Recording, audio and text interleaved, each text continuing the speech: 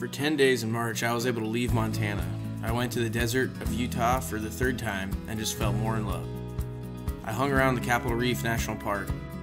Thanks to my camper van, I was able to hide away from the wind, which was almost constant. I built this van specifically for exploring the desert. I always thought campers were for wusses, but the 40 mile per hour winds have kind of changed my mind.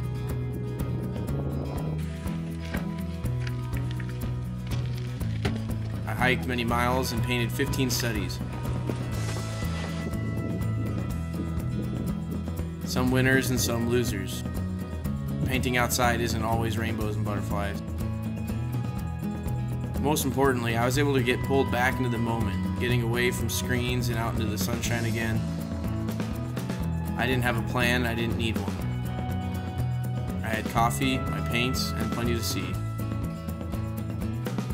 Days seemed to last forever, free of distractions and agendas.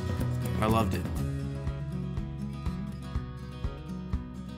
In closing, I'll say life is just too short to spend it all inside, so get out and go do something you love.